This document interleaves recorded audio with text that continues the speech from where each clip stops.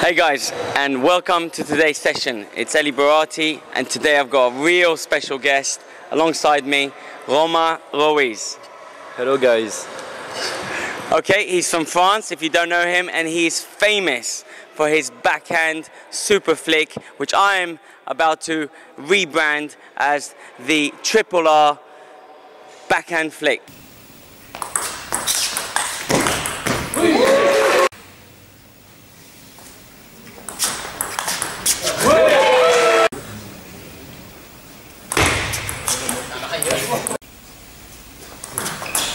Down.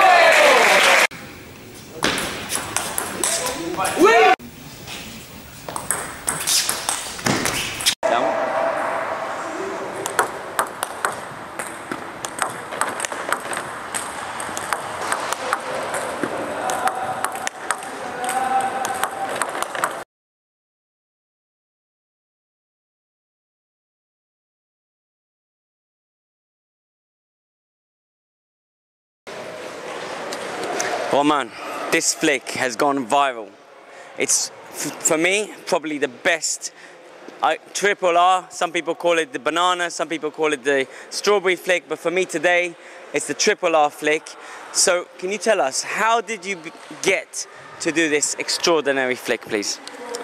When I was a kid, I was trying many different movements with my wrist, and uh, it's happened that I was five or six years old, and I found it naturally. And uh, then when I was older, my last coach, Julien Girard, he told me to, to practice it because he see it was not so bad. And then we work on this on the multi-ball, and then I can make it in match, and it's pretty good, I think, sometimes. I agree. I think it's absolutely amazing. And some of you guys, you can search some other video YouTube uh, clips of Romain playing this stroke in matches and making the best players look very average, sometimes even silly.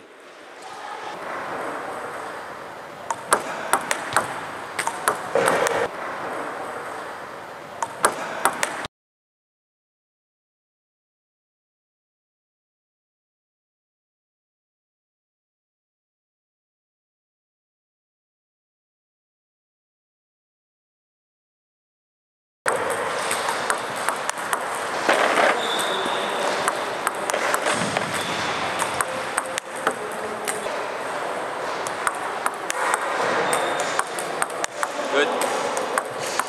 Yes.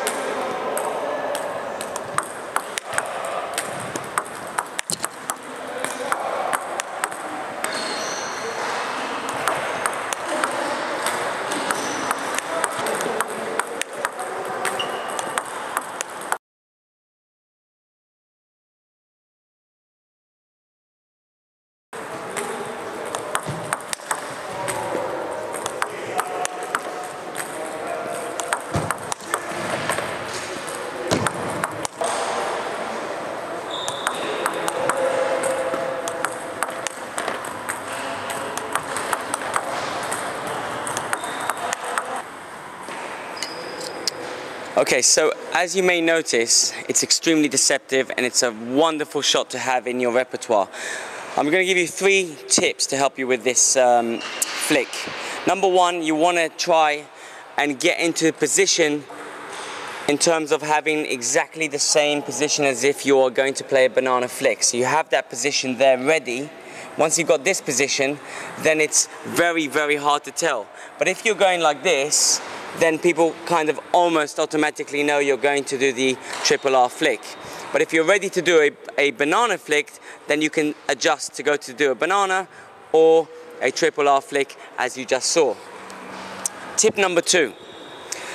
This is really, really important because if you get the timing wrong, then the ball will go in the net or off the end. So you've got to really make sure that you time the ball in terms of top of the bounce. You don't want to be hitting the ball too late or too early, otherwise to execute this shot with real aggression and energy, you must make sure that you ca capture the ball at top of the bounce and then you can get a little bit extra spin and speed.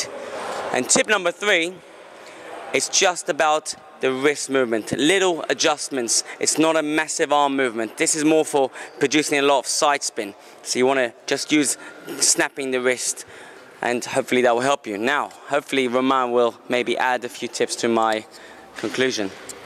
Yes, so if you are doing this in match or in training, you have to be sure in your mind that you will make it on the table. Because if you hesitate before to make it, for sure you will miss it. So just focus on the thing, you will do it for sure, and then try. Great tip. That's a perfect tip. Okay, thank you very much, Omar. I'd like to uh, thank you guys for watching as always.